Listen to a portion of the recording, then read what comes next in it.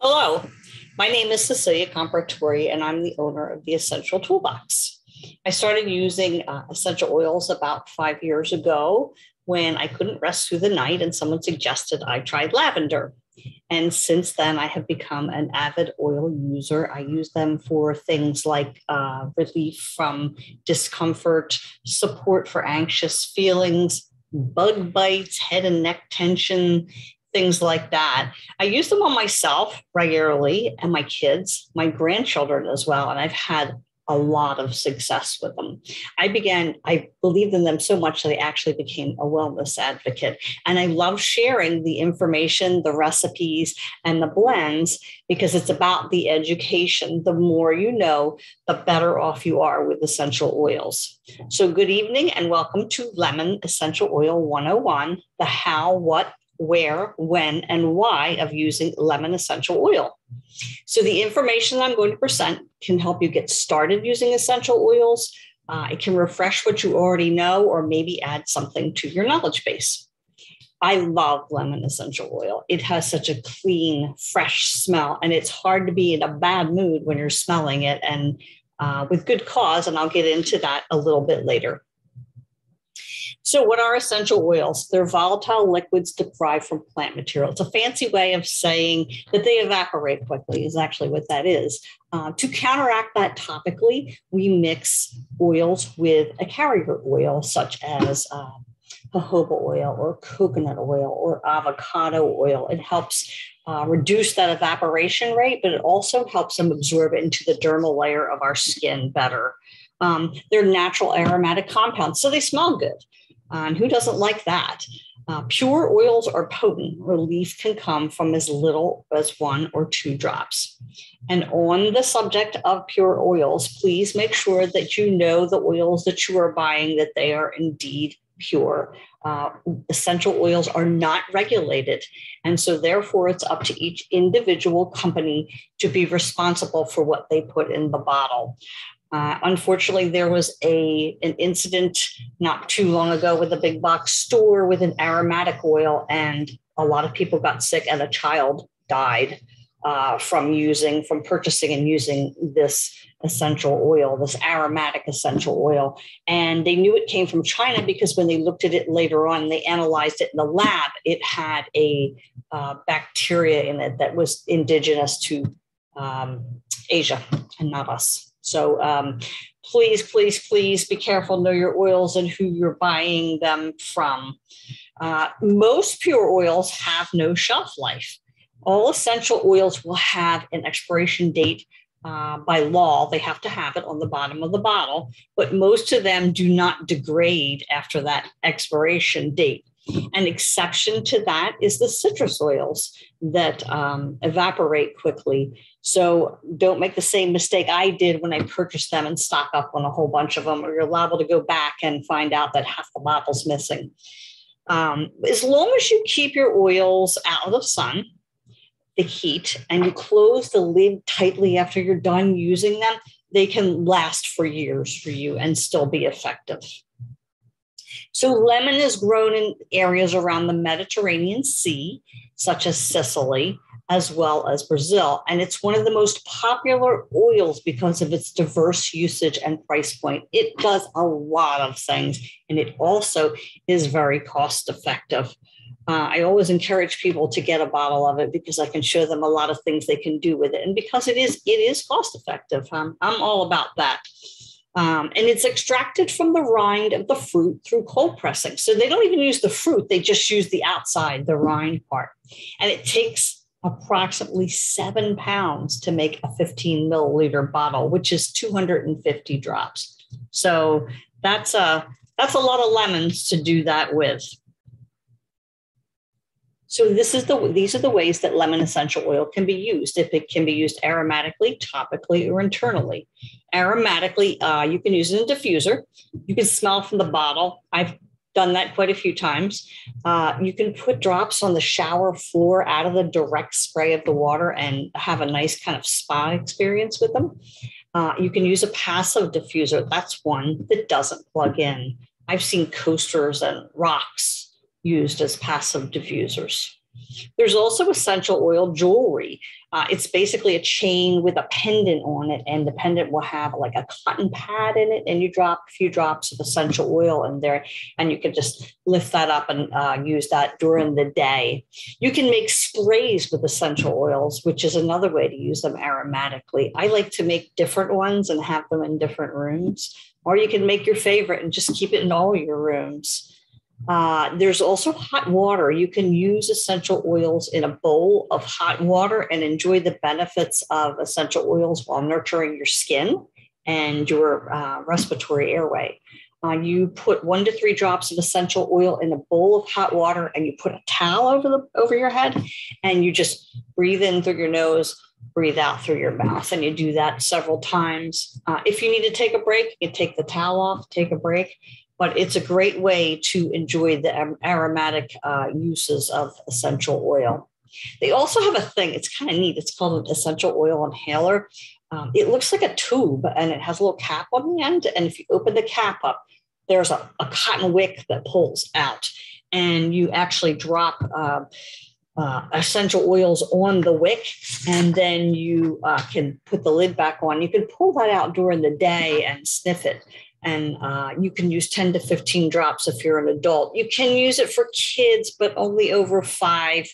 And then you want to d- cut down the uh, amount of drops to like four or eight drops, depending on their age. But that's a great thing to have if you're at work. I've seen them in glass, they're really kind of cool.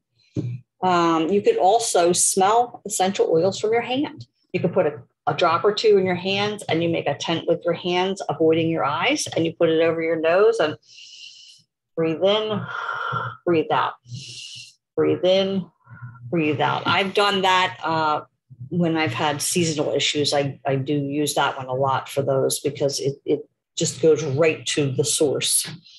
Okay, topically, you can use it topically in a roller ball along the forearms, your wrists, along the spine, on the belly, on your neck or feet. I use them on my feet a lot because of reflexology points and also um, if it's one that I, i'm not particularly liking the smell of it's a little bit different for me i might try it there first uh, but these this is the the um, these are really great for kids the belly and the feet especially for infants to do that with uh, you can take them internally in a zero capsule under the tongue or in a glass of water. A zero capsule is basically an empty capsule. It has a long side and a short side. You separate them, you drop the oils in the long side, put the lid back on, and you drink them with a glass of water. Um, you can put them under your tongue. I have done that. Um, I've had several occasions where I've had head tension so bad that, you know, I've been in a dark room with my eyes shut and it was just awful. And remembered that I could use oils under my tongue and, and I used copaiba and frankincense and it worked wonderfully for me. You can also use them in a glass of water. Uh, I use that to actually flavor my water all day when I'm at work. So here's a dilution chart. I do like to show this to people um, when I give classes. Dilution is one of the reasons that using essential oils will not work correctly because you're not diluting um, you know to the correct percentage for the, the percentile age that, that you have whether it's a child or an adult. Um, and basically all you're doing is you're looking for what size bottle you're using a 5 10 or 30 milliliter and you're going to look on this chart here and then you're going to use the guidelines at the bottom. Birth to 12 months is 0.3 to 0.5% dilution. 1 to 5 years is 1.5 to 3% 6 to 11 is 1.5 to 5% 12 to 17 years is 1.5 to 20% dilution. 18 years and older is 1.5% dilution to NEAT, which is no dilution. And elderly or sensitive skin, 1 to 3% dilution. Daily use, 2 to 5%. Short term, 10 to 25. And local skin or systemic issues, 50% dilution to NEAT. Okay. And all you're going to do is find the bottle. Then you're going to find what you're diluting for. Um, I use this uh, one to five years for my, my grandkids, and it's 1.5 to 3%. And there, he's the one I use it for. Um, he's sensory actually. And I use, he's four years old. Uh, and so I'll usually make him fives or tens. But if I make him a 10, then, you know, I'm going to look for somewhere in between the 1.5 to 3, like the 2%. Okay. And then I'm going to use four. So here's my 10 milliliter, 2%, four drops of oil. The remainder is going to be carrier oil. And that seems to work, work well on him. And just remember, these are general guidelines. Okay. If you, what you're using is less and it works for you, use it that way. Um, we are all different and unique, our bodies, and so are our situations, what we're going through. And so if it works for you, then stay with that. It's it's it's what your body needs. You don't need more than that. So lemon is great for uh, digestive support. Remember, it's a great surface cleanser, so it can do, help do the same for your digestive system. And in my attempt to include more water in, in my diet, uh, I've included citrus oils, specifically lemon. I just like the taste of it. It's just fresh and, and refreshing and clean tasting. And it helps me drink more water and it makes the water not taste so boring. Seriously, I don't water doesn't taste so hot to me. I don't know. So I need all the help I can get, but it helps make it less boring. And then in, in return, I get my proper hydration. So it's a good thing. Uh, it's good for seasonal support along with lavender and lemon. Um, and that can be used aromatically, topically, or internally. Um, when seasonal threats are high for me, I oftentimes will have um, my diffuser going with lemon, lavender, and peppermint, and I will be using my rollerball on my feet. And yes, I do use it in my water as well because I, I want as much support and relief as possible. So remember that they have a mood boosting effect. Um, our nose is the only organ that directly directly connects to our brain, and that's via the olfactory bulb to the limbic system of our brain, which is responsible for mood, emotions, and memory. So that's why when you smell essential oils and other things, you sometimes have that memory flashback. I know I get them. I always get them with my from my dad when I smell certain things that I smell, and I just have, and it's it's a wonderful thing and it just brings back this, these all these wonderful memories. Well that's how essential oils work. They work in that same way on that same limbic system of your brain. Okay so aromatic use can have great results um, and don't forget it's also good for immune support as well so lemon has cleansing and purifying qualities for the air and surfaces and this is where it comes in for um, as a non toxic cleaner. You can make the sprays, the cleansers, the cleaners. The limonene is the main constituent in lemon, and it gives it a natural cleaning power against grease and oil. So it makes it potent, powerful, and effective when you clean. And it's safe to use in your house. There's no chemicals in it, so you can use it around your kids, around the elderly. Uh, it's an alternative to non toxic cleaners. And it's often said that the air in our homes is dirtier than the air outside. And a lot of it has to do with the use of chemical cleaners in our homes. Um, internal use naturally cleanses the body and aids in digestion. Just like it cleans surfaces, it can do the same thing for you when you use it internally. So, um, and it also has an uplifting aroma, natural mood booster. So lemon can also be used to remove sticker residue. Uh, you can use one to two drops to help with that. I keep a bottle of lemon in my kitchen and specifically for this purpose. I recycle a lot of glass, and nine times out of 10, the label is not easy to get off. It's usually quite a chore. Um, I often wonder where they come with, up with these glue formulations to put the, the label on with, because sometimes it's, wow, it's rough. But um, I use a couple of drops of that. And what I'll do, first of all, is I, I kind of soften the glue with some hot water and then I'll use the lemon essential oil on there and get off as much as I can. And it works great for me. I mean, it actually saves me money because I don't have to buy a bottle and I'm saving it out of a landfill. So I'm doing good for my pocketbook as well as for, for the earth. Um, you can add it to a microfiber cloth and clean the surface of your phone. I read a study that cell phones can carry up to 10 more 10 times more bacteria than a toilet seat i was like whoa that's so gross and then the average person touches their phone 47 times a day Oof. so to say that our phones need to be cleaned is that's an understatement so you can add a few drops to a cotton ball and place in your trash can also to help eliminate odors.